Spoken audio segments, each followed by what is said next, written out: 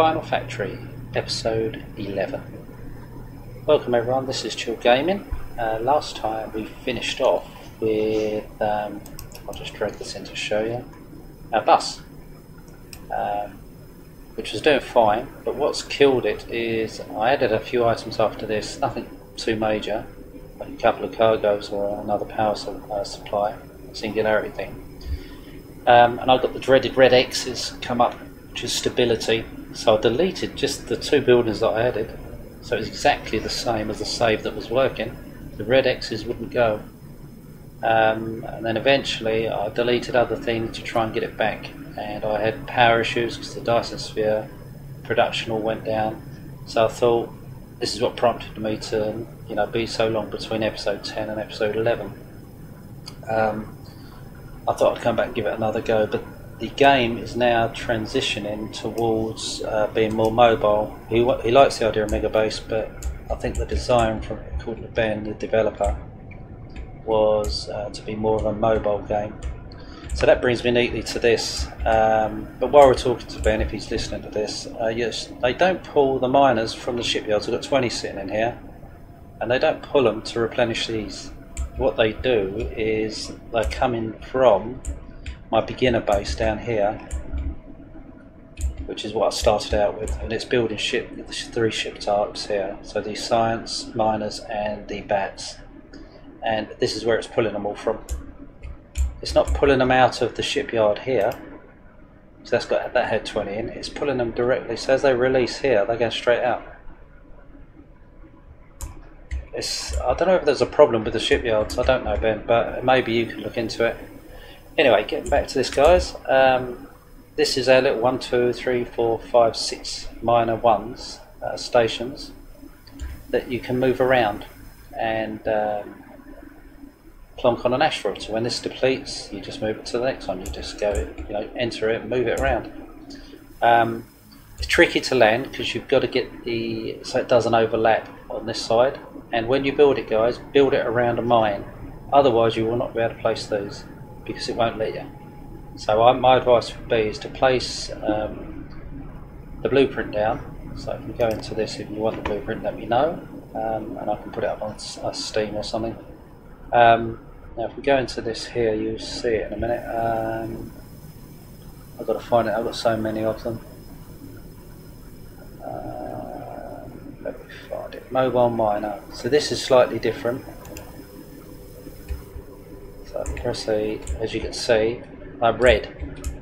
So if you put it here, you'll play around a bit to get it to fit. If it doesn't, then um, I'll just exit it out. Hang on, let's go back and grab it again.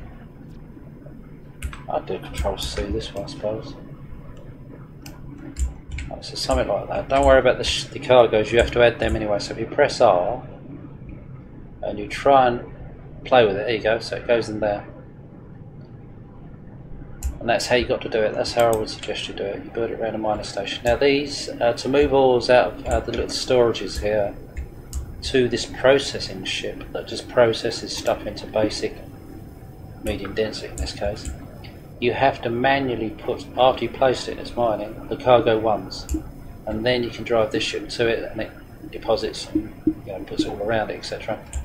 Um, when you move the ship, um, hopefully, I mean, look, to that blueprint we just put down here, it takes these with you, which is great.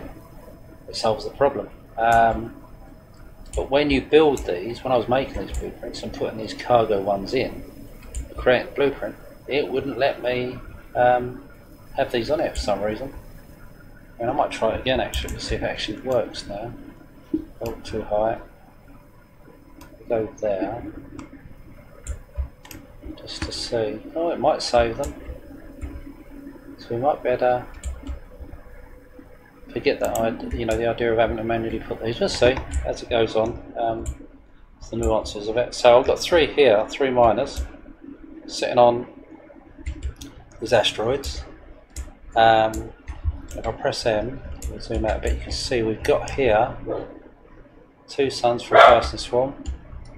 Uh, I've got planet here, and I think there's another one around here somewhere. I just haven't explored enough yet, but uh, I can put the planetary science here. So if we go back to the science itself, as you can see, everything now needs planetary. They've changed the um, the research because uh, you know I, what I'd done is um, when I started, I just literally sat here for ages, uh, fending everything off until I got all of the research done. And now these are um, going dormant. What I've got to do now up here, going back to this, is create more ships that produce stuff. Um, the tricky part we've got is, I mean, this thing's fine. You can do all the basic processing to copy this ship, and then it'll just have everything sitting, waiting for you to transport out to the next stage. Um, but with a mall, uh, you've got to somehow store all three types that you're basically making from the three different ores into it. Then it goes through and around the ship to make said products that you then got to store out somewhere, um, especially the ones that are needed for more advanced production. Um, yeah, so that's going to be interesting because I was hoping not to have to do them all, but I might do a very small mall, maybe here somewhere. As you can see, this is out of the little diamond. The start area is here.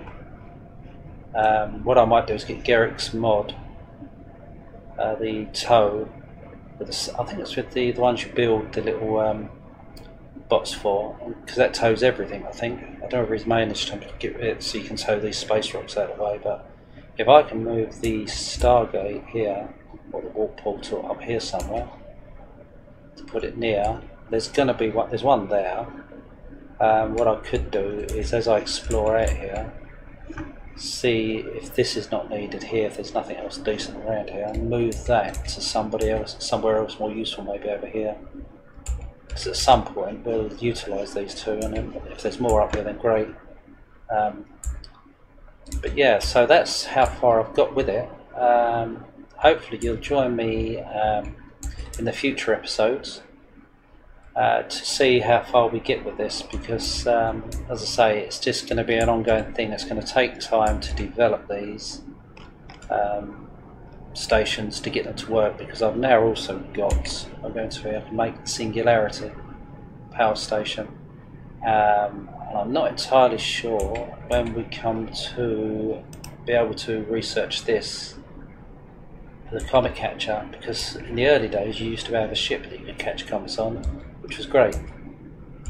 But I'm not entirely sure whether Ben's going to incorporate that into um, the ships now because if I recall, he, he can correct me if I'm wrong, he stopped that from happening because it's been abused. Something in the early days, he can correct me if I'm wrong. Um, but I will try and do a ship for that as well. So um, the plan will be in the coming episodes. I mean, this one's going to be short, but it's just to keep you updated, guys. Um, the plan will be is to do the three processing ships, a central storage ship that collects all of the processed materials, and then that lands at a central point, um, you know, up here somewhere. It will land. This is my thoughts anyway.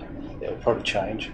Um, it's another ship that will then build the materials uh, from those. So it'll build all the basic stuff, you know, like all of this kind of stuff. So um, as an example, low density, medium density will build you the connector pipe. Uh, medium density will build you the cargoes, etc., etc. All what we can build with what we've got, um, and then they will be stored um, on the outside. Now this is going to be the tricky part, from the manufacturing side to the outside. Now I'm going to see if cargo bots will travel. I'm going to build a basic little tiny ship, one engine, a little factory, cargo bots, and I'm going to put cargo bots in it. And I'm going to put these uh, not cargo, but logistics bots. Let's get it right into it, and then a couple of cargoes on the outside. And I'm going to do four of them, just a little tiny square ship. And I'm going to create the blueprint, move it, see if everything moves, delete it, recreate the actual ship again from a blueprint, see if it still works because um, maybe that was a bug the other day that was causing me problems. If that does, then that opens up possibilities of us creating, um, you know, if I had a factory here and it was outputting there, and the logistics side was here to, you know, to go out to another factory, I can then use the logistics but from there to here. Saves on all these cargo tubes.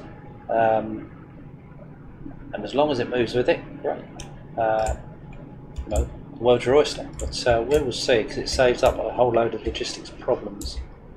Um, but yeah, uh, thanks for joining us. I know this one's short, and I normally do a lot longer ones, but um, it's just to keep you guys in the loop. So get asked every now and then will I do any more Final Factory.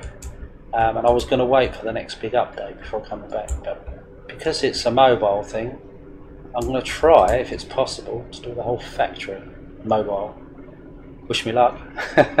um, but yeah, so that's this is where we've got to now, and the plan will be um, to scale this up. Um, you know, have more of these on different asteroids as and when we need them, and have some that goes along and um, either like this that grabs the minerals, puts them into the basic, you know, processed minerals, then dumps them to a central storage, as well as a central storage uh, or courier that comes to this side, collects the same materials but stores them in the central storage so they can be used for something else.